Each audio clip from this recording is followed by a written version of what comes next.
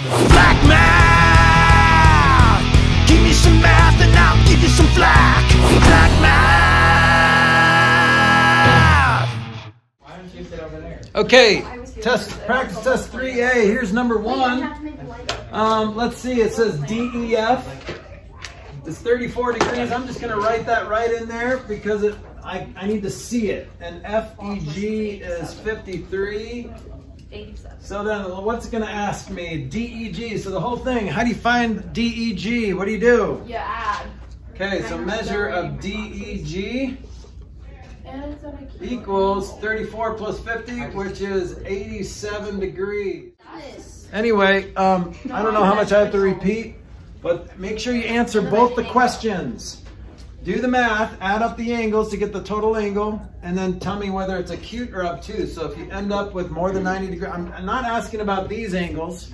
I'm asking about the resulting angle, DEG.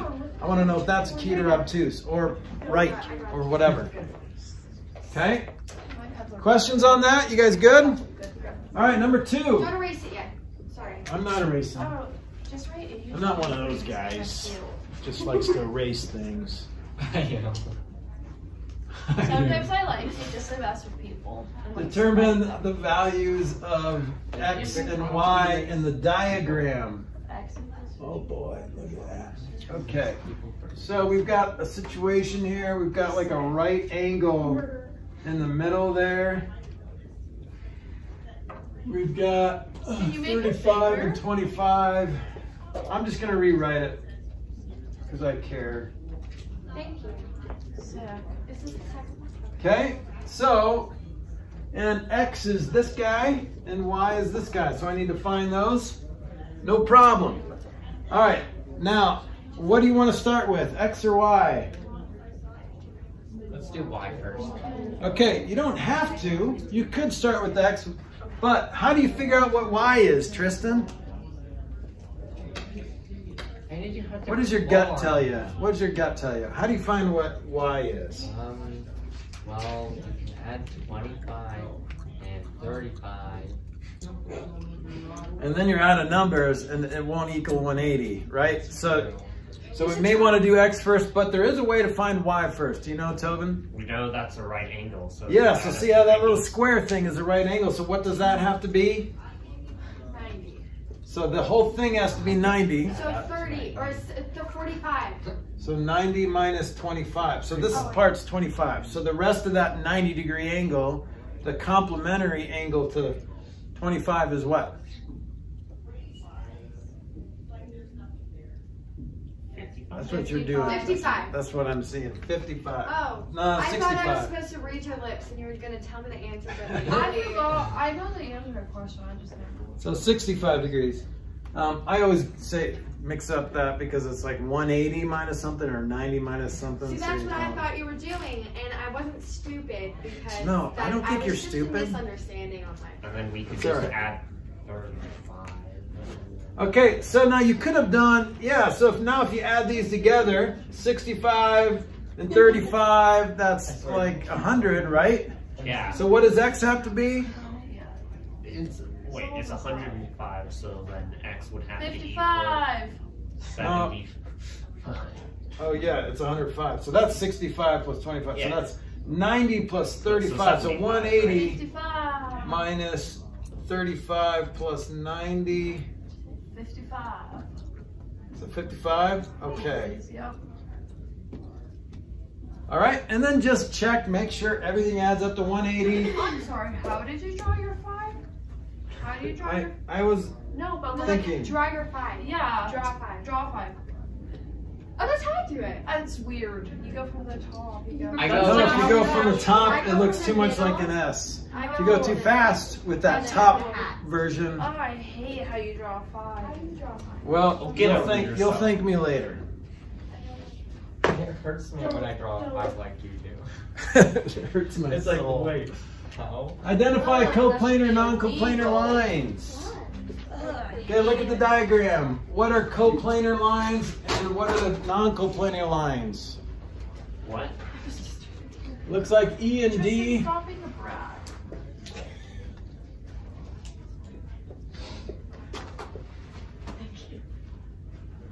This is line D and line E. Which ones are coplanar and which ones are non-coplanar? E and B. Unless I drew a B backwards, then that's supposed to be D. They both are. Yeah, so lines D and E are coplanar. And Sorry, there's that not looks terrible. And there's no Yep. non-coplanar. There was a problem like that on the last test. Yeah, no. No non-coplanar. Which kind of hurts my back. That's what we like. On a road trip, we don't, we want non-coplanars. That would make English people Okay. mad. Like double negative. Non, no non, no non-coplanars. All right, uh, scrolling down, scrolling down, zooming in, zooming in. This makes my handwriting good. Handwriting is always good, Ken. No, it's just like- Okay, four and five, here we go. I have terrible. Find a counterexample to this conjecture. If a quadrilateral has two pairs of congruent sides, it is a parallelogram. Two pairs of congruent sides, it is a parallelogram. What are we finding? Counterexample? Yeah.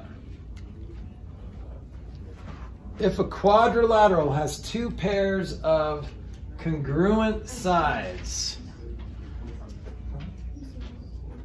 it is a parallelogram. Oh, I just drew something. Okay, what'd you draw? Can I? I can't describe it. Do you want to draw it? Yeah. And then you can watch this video later. Yeah, I'll like skip to my part only, cause like that's the only way to Have a watch. bigger cameo, like. Yeah, I'll be like, should I like have like? s- Oh, I can't wear my glasses. Should They're like, gross and I hate them. it's Tori time. Okay. uh, Yeah, you did your hair, Tori. Yeah, but like. oh, Okay, ladies and gentlemen.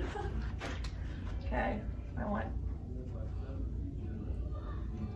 No, wait, this isn't right. Oh, yeah, it could have been right. I'm gonna like that. Okay, close, except that's That's the no, I didn't do the. That's a I lied. I didn't do those. There you go. I forget what I do Okay, sometimes, what does? and then I go... It go. looks like a, a oh, what is it? A ray? Like a It looks like a- Hi, guys. manta ray. Stingray. But Steamer. here's here's what probably would have been better I like that. be the video. So this is actually there's a nice name for it. It's called a kite. Here's the Okay. marker. So Is thank you. day? I I draw. Oh my god, I love you. Thank you so much for fixing that. Oh come on. That's all. Okay, so this is actually called a kite. This this is two pairs of congruent sides. Now, if I would have said if a quadrilateral has two pairs of opposite congruent sides, opposite from each other, then yes, it is a parallelogram. But this is not a parallelogram, it's called a kite. You dropped something. These are consecutive congruent sides. I should. I should be featured in every Flack Math video. No, I agree. I think I should be featured. So you can either draw it or you can uh, describe it. I drew it. I don't know what the actual test, I will look, if there's time, I'll look at the actual test and see if there's any twists, okay? Yes. Does that word say kitty? But but I I'm actually I was, That's the word that I said three times for those I was who were drawing listening. The thing, so my You said kite. You going- didn't say ki- kitty. Kite. You said kite. I know, I said kite. But that's kitty up That's there. the No, that's an that's a lazy, fast e. Can you make the E better That's- so it doesn't Sure look it like is. kitty? We're not oh, gonna I get, said the E Mr. I Flack, You and Mrs. Remper would not get along. Mm, They both have bad handwriting. Let's be real. did you hear that? Did you hear that? That's It's true. Like every teacher, none of them have good handwriting. That is so true. Why I'm is a it- fraud. so Okay. rude. Hurtful.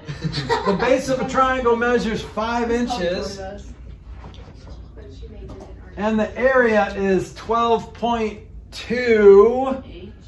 square inches. Determine the height of its triangle. So we're trying to find this guy, but we know the area is 12 point or 13.2. Did I say 12.2? You did say How 12. embarrassing. How do you find the area of a triangle? Let's write it out. Area is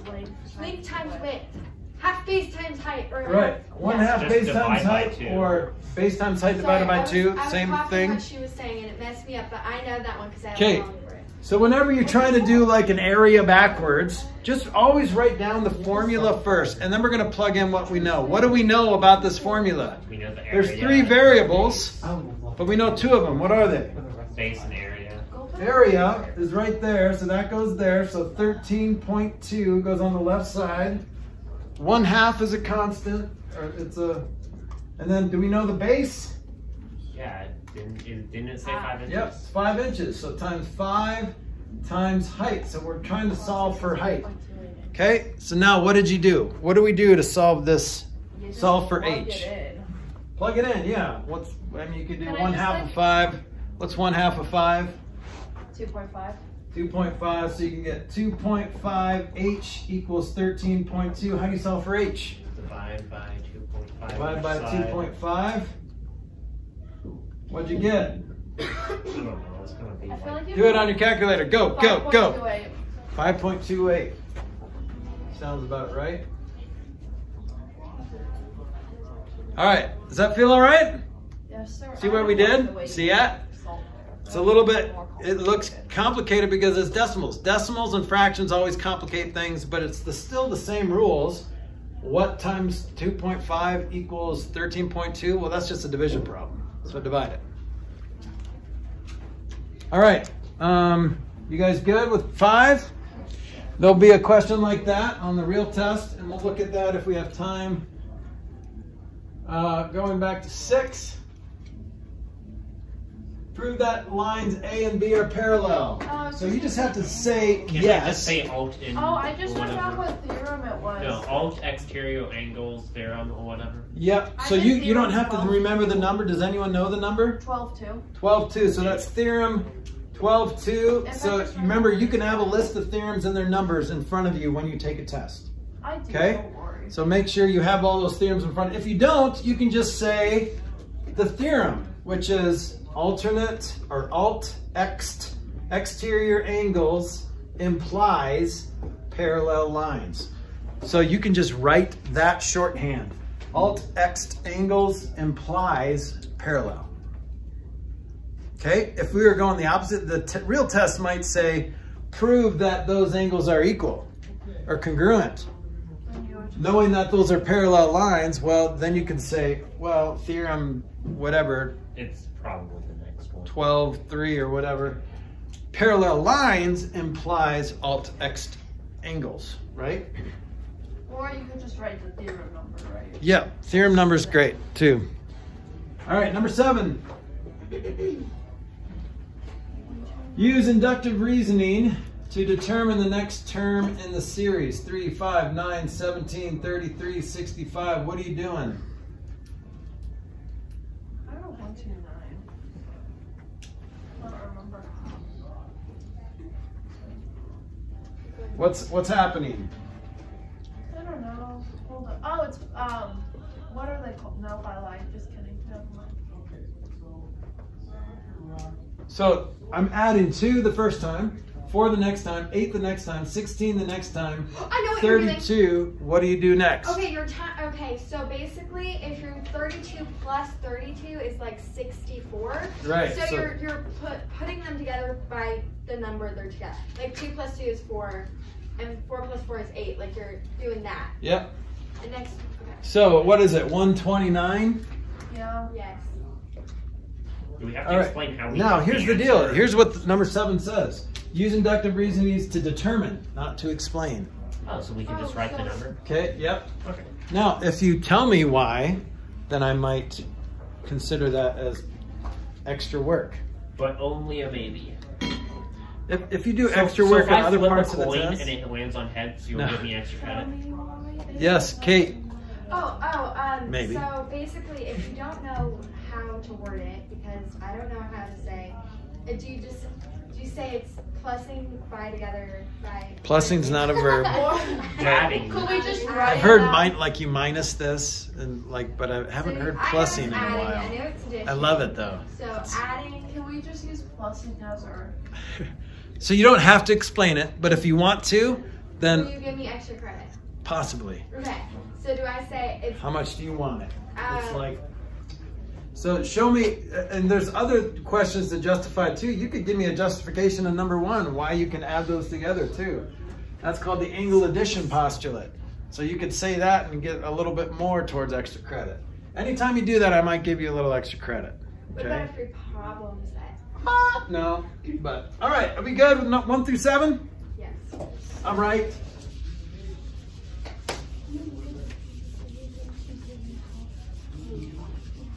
But I'll be featured in it. So it's like more fit. Yeah, what do you mean? I was gonna Number be eight. video. We all people only watch it to hopefully see me as a cameo in the Flack Math.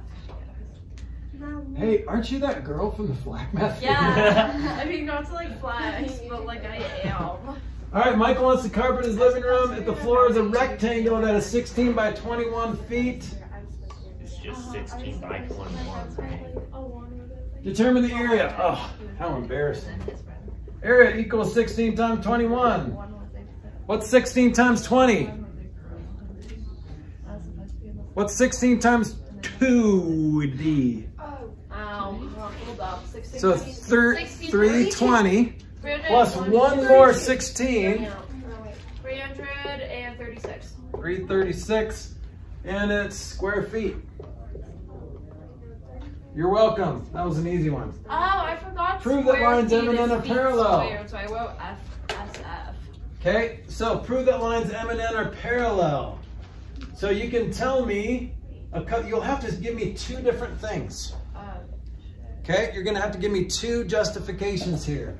Well, I don't see any angles that are congruent, right? So I can't use one of those theorems that says if these angles are congruent, then the lines are parallel.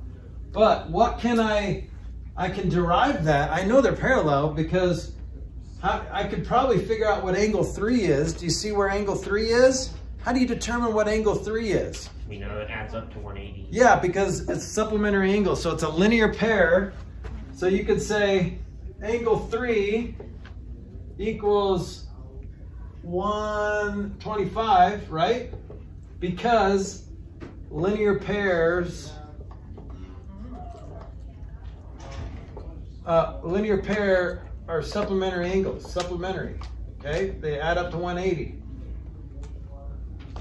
Okay, and then now that I know that um, you've got corresponding, see how they're in the same position?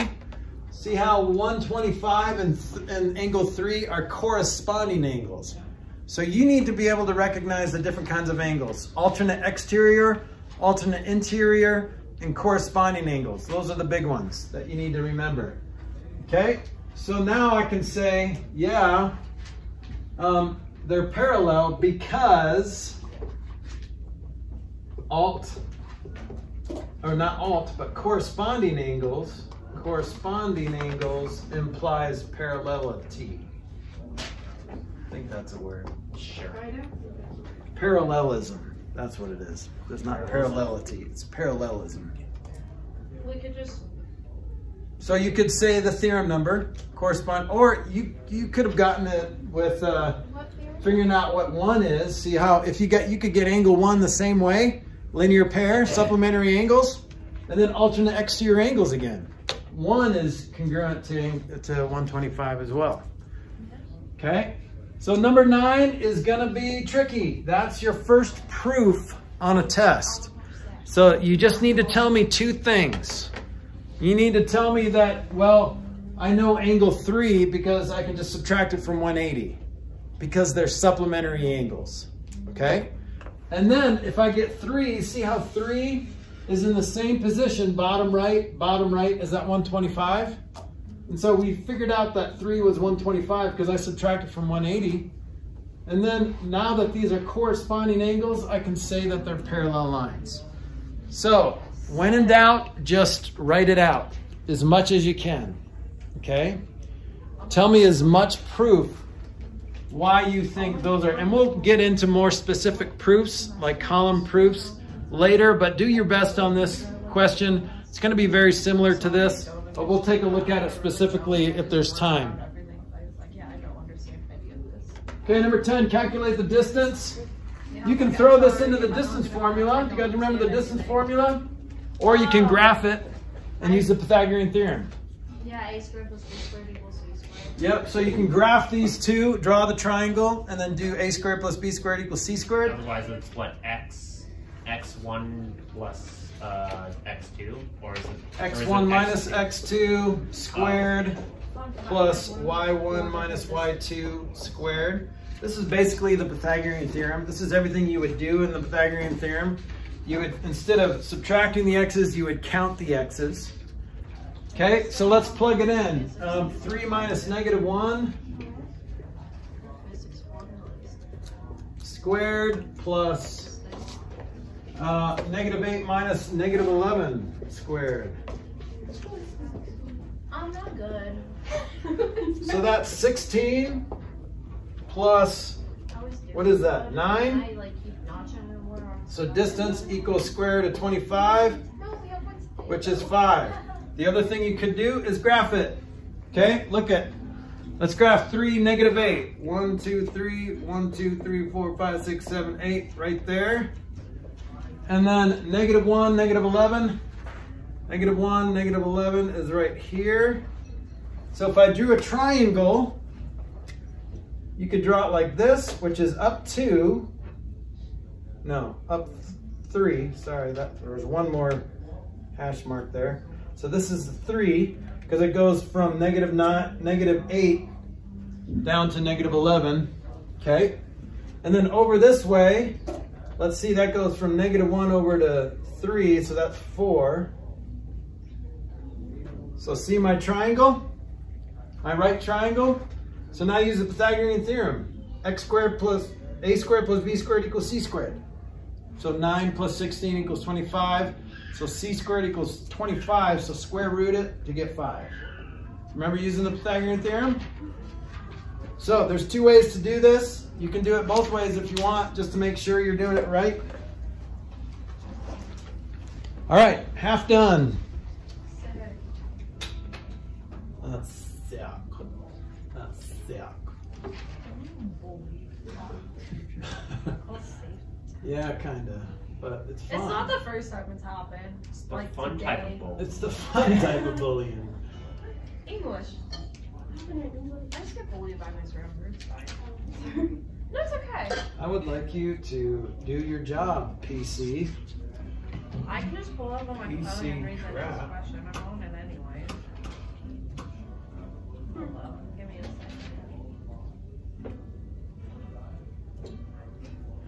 Sorry about that. One second. All right, determine. That's not the question. Ramon. Number 11? Oh, the mouse was on 16. Sorry. No. Don't look at the mouse. Determine whether the following conditional statement is true. If Jane lives in U- the USA, then Jane lives in Arizona. Is that true? No, but the converse is. False. Now it says give a counterexample. Could you live Okay. Georgia, Oklahoma? Right. I just go. I go to Georgia. Jane lives in Georgia or any other of the 49 states in the Union. Okay? And then um, in your test to come, it'll say, is the converse true? Yes, it is. If you switch it around, if Jane lives in Arizona, then she lives in the USA. The converse is true, but the actual original statement is not. Okay? Number 12. Lines A and B are, and C and D are parallel. Find CLM. CLM is, where is it? Degrees. This to I'm going to show you down here, that bottom left angle. So what is this? We have to figure that out. We can just do the same complementary angles. Uh-huh. right? It's just the one that's like A X. So this is this this one's a little involved, but it's okay. It's okay. Isn't it just Uh, A, can't we just XN find the minus value for 180? k? Yep. So how do you? That's X. Oh, A- angle k. But how do you know what K is? Oh, is? Because we know it's supplementary to 4, 4x. Okay. What does supplementary mean? It, they will both add up to 180. Okay. So we can set it equal to that, but then we have two variables. We have the measure of angle. Yeah, we But we know that See how angle K is the same as 2x plus 25. And 2x plus 25 has to be supplementary to 4x plus 5, right? So what does it mean to be supplementary? The two angles, Okay. what does it mean for two angles to be supplementary? They have to add up to 180. So guess what we're gonna do? We're gonna add those two expressions up to 180. 4x plus 5 plus 2x plus 25. Do you guys see why that has to equal 180? If you look at it, this one's an obtuse. All these angles are either congruent or supplementary. They're either congruent to each other or they're supplementary. Well, you can tell right away if they're congruent because this one is a very obtuse angle and the bottom one is a very acute angle, so they must be supplementary. So they have to add up to 180. So see how I just added the two things to equal 180? So you have to build an equation and solve it. Well, you know how to solve an equation. First step is to simplify both sides. So let's combine the x's. What's 4x and 2x? 6x. Get 6. So there's 6x, and then 5 and 25 is 30. Then you take away 30, Okay. you get the 150, you divide Right, so now if you are rusty on your solving equation skills, you can follow these steps. There's no variables on both sides, so now we're just getting rid of the constant on the variable side. What happened to the green marker? I gave it back. You did, but I don't remember what I did with it. There it is. Okay, minus 30. Minus 30, whatever you do to one side, do to the other. 3x, 6x equals 150. How do you find x now? Could I just? Never mind. You could also just like Eight, subtract from 25. the 180 and divide it by six. Okay, is that your answer? I mean, no. No. Know This is why it's involved. supplementary. It's involved. Okay, No. so now you just know what x is. So you're asked to find this angle here. But x, that's not 25, that's what x is. So how do you figure out what this angle is? Don't you, you have to find out what that x angle is, right? You have to feed an x What to this is, 2x yeah, plus put an x in there. What's 2 times 25? 50 plus tw- 25 is 75. So if this is 75, the vertical angle is also 75. There's a lot of steps to that problem. Could you also? No. Do what, Tori? Never mind. I can't read the oh, screen well enough. And then to get extra credit, we could say, oh, it. that's theorem, postulate, whatever.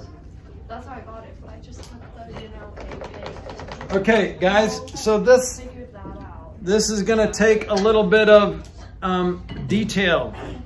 So you have to know, I mean, you kind of go with your gut too, right? You know that all those angles are either congruent or they add up to 180, okay? If you can remember that, then you can figure out the rest of the details. Just make sure you're answering the right question. This does not say solve for x. It says find that angle, girls. You can talk about whatever later. I don't know what you're talking about. We were, We were talking was about hoping- the math, how Yeah, it's we were actually talking- degrees. Good. Okay. but we were talking in a British accent, so that's why we were. Oh, And we Yeah. kinda sometimes it's easier to talk in a British. I get it. but That's, I Sometimes know. like you'll be like going for like a mental breakdown and you'll just talk in a like British accent, do the Debbie Rocking face. It just happens. And you I can it. see that. All right. Oh gosh, So make sure you finish this problem. Complete it because there's lots of details in it. Okay, determine the midpoint. You This could is the formula. you could graph it and figure out which point's in the middle. Use your gut. If you don't use real graph paper though, and try to use like that very bad drawing that I did, then it's going to be more difficult. Use real graph paper. If you're going to graph it, then use your gut to see where the midpoint is. But there's a nice little theorem, midpoint formula. It's basically the average of the x's and the average of the y's. How do you find the average of two numbers? Add them together and then divide. Well, if it's two numbers, then you divide by two, but you divide by the amount of numbers. Yep. So you can write this down if you want. This is the midpoint. Y1 plus y2 divided by 2. That's the average of the y's, average of the x's, or basically halfway between the x's and halfway between the y's. So I'm gonna plug that in. Um, negative two and negative eight. And then three and four. Fraction. Oh, fraction. So that's negative five comma three point five. Or three and a half. No, that's three and a half.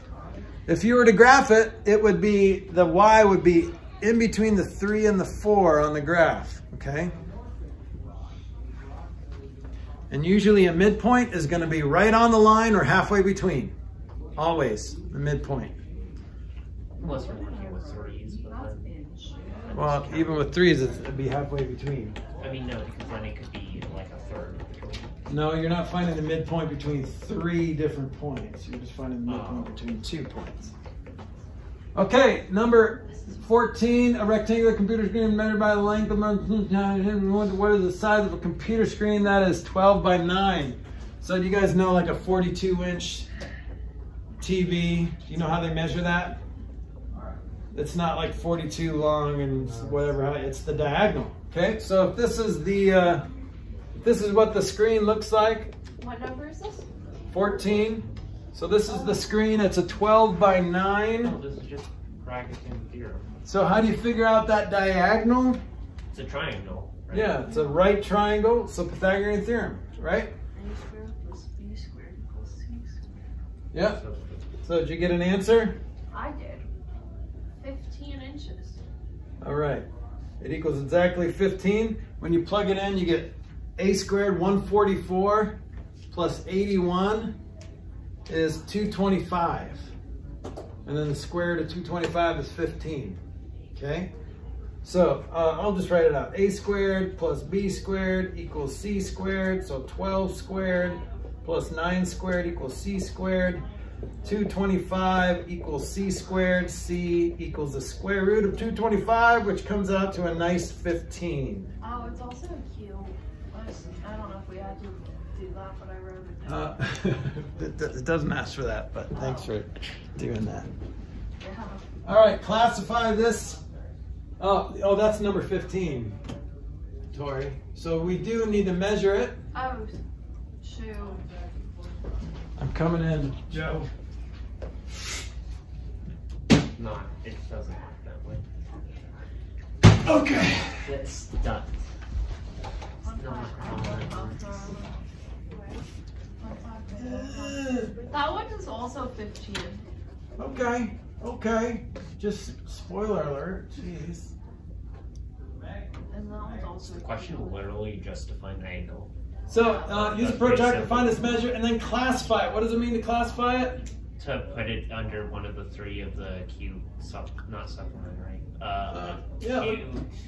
Halfway between 10 and 20. So it's 15 degrees, which is what kind of angle? Is that a cube? Acute. So 15, make sure you measure it. It's 15 degrees, uh, right? 15 is Yeah. 15. And it's acute. Don't forget to classify it. Acute, obtuse, right, straight. Okay? I lost my protractor. All right, number 16. We're gonna do it. We're gonna find, we're gonna finish reviewing this test so you guys are well prepared. Sure we are. Okay. Okay. So this is just the same question, right? As Yeah. number 14 or 13 or whatever that was, 13. So just find the average of the x's and average of the y's. Just because they're decimals doesn't mean you don't follow the same rules.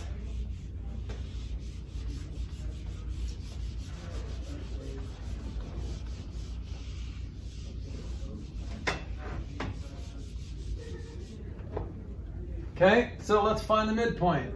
Equals negative 3 plus 4.6 divided by 2 is the x coordinate. And then 5.2 plus negative 2.2 divided by 2 is the y coordinate. You guys do that math? What'd you get, Tori? We need hold it up. too. I go. I'll be back. 0.8, Because that's like 1.6 divided by 2, Yeah. which is 0.8. And then what's the this, other, 2? Other ones are simple because it takes away the. the Yeah, so you just goes decimal. goes down to 3, or goes down to 2. four, right? It goes down to 3, so It that'd be goes to 1.5. Wrong with me? Did you get 1.5 for the y coordinate? Oh, that, that's right. None of you did the practice test, yes. Except Maddie. Is that what you got, Maddie? What? 1.5 for the y coordinate? Because you end up with 3 divided by 2. Okay, good. Next.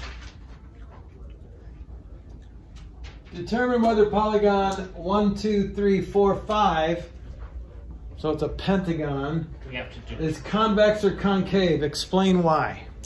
It's It's concave. it's concave, Concave. because we can know, we know we can draw an angle on the outside or whatever. Whatever Yeah, that so- zero was. Because it looked like someone punched into it. Yeah, so it's concave. There's half of your points. Now you have to say why.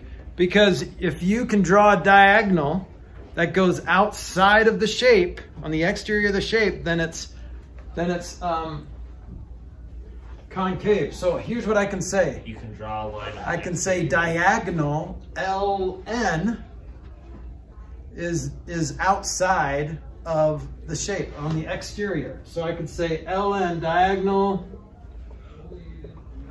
LN line segment symbol is exterior. That's all you have to say.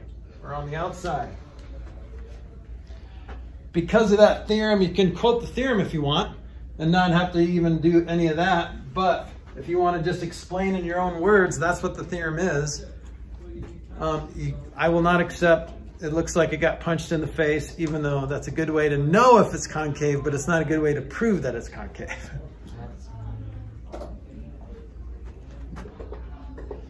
Okay? Well, maybe that's just more extra credit if you wanted to say that. what is this mess? All right, determine the perimeter and area of ABC.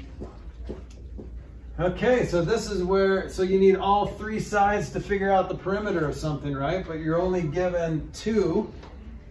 But we can find the area pretty easily. How do you find the area of this triangle? Just times everything divided by two. whatever. No. Times is not Oh, a verb. Sorry. But you don't. it's you- height times width or whatever. Yep. So base times height, half one half base times height, right? Yeah. Right. Okay. Well, we know what the base is. Like if you look at it upside down, you could say the base is 16, and the height is eight. So equals one half 16 times eight. So that's just 64 square centimeters. That was the easy one. How do you find the perimeter of this triangle?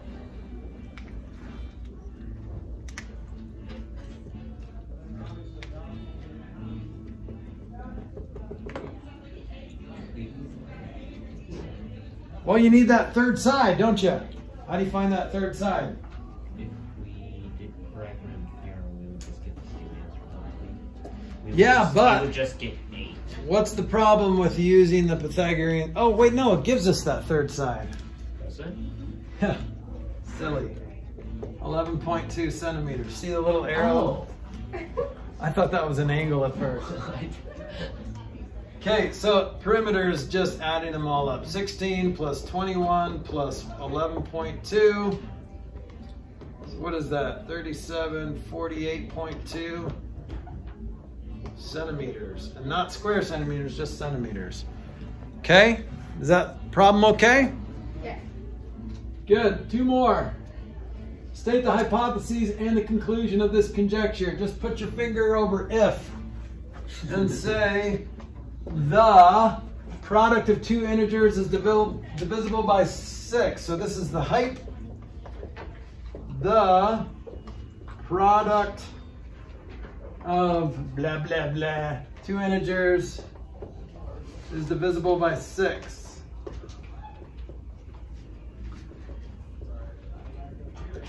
Okay, and then the conclusion or conc is then, cover up the word then, and just state one of these numbers is divisible by 3.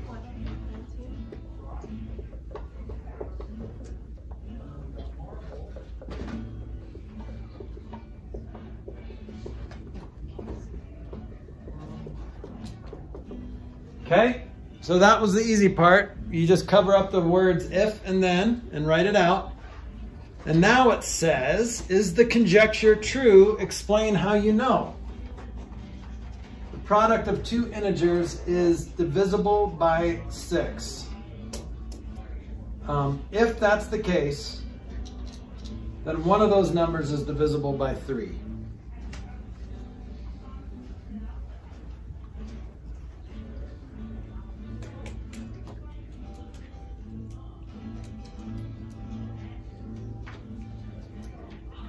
What do you think? Supposed to be solving this? Yeah.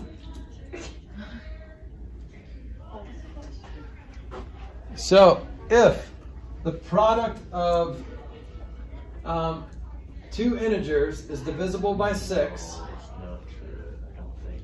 so like any multiple of six basically, then one of these numbers is divisible by three. You just have four and two, then it's not correct, because neither of them are divisible by three, right? The product of two integers is divisible by six. What about So just four and two, right? Oh, integers. So it's got to be integers. So Oh. four and two does not equal a product Okay. of six. It's not divisible by six. It's true, 18. but explain why. Eighteen. 18 and 3 goes into 18 and so does 2. So it's got to be divisible. Yes, eh, eighteen is divisible by six um, because of those two integers is divisible by six. So one of those integers has to be divisible by three. Or divisible by, oh, and the other divisible by two. Oh, Okay, so that's different. 12? 12. So think about all the different um, integers of tw- uh, factors of 12. 4 and 3, 2 and 6. Those are all true. Can you explain why? Do we have to? It says explain how you know. Because. Is probably like what two evens will will oats to another even, whatever. Here's here's what you could say. You could say 3 goes into everything 6 goes into. Right? All the multiples of 6. If 3 goes into 6, 3 goes into all the multiples of 6. Like 6, 12, 18, 24, right? 2 goes into all the multiples of 6. Everything 6 goes into. All the multiples of 6 are even numbers. So I Okay. can just say six is divisible by three and two, and this is how I know. Yeah, that's a, that's a good way to explain it. Okay? Do your best on this. Go with your gut. I'm not going to be too harsh on this, so find a counterexample to this conjecture. The sum of any two integers that are greater than 1 is less than their product. Oh, do we just like write down like mapping for it? What? Never mind. Okay, the sum of any two integers that are greater than 1 is less than their product. Wow. 2 and 2. Okay, well, yeah, 2 and 2 is a good example. Because 2 and 2, 2 plus 2 is 4, 2 times 2 is 4. 4 is not less than 4. Uh-huh. Okay, what about another one? Oh. Greater than 1, any two integers, is there anything greater, anything, other example? Anything. Because 2 plus 3 is 5, which is less than 2 times 3, which is 6. I don't think there is. I'm looking around. Yeah, I think that's it. Okay. All right. Flack math! Give me some math and I'll give you some flack. Black math!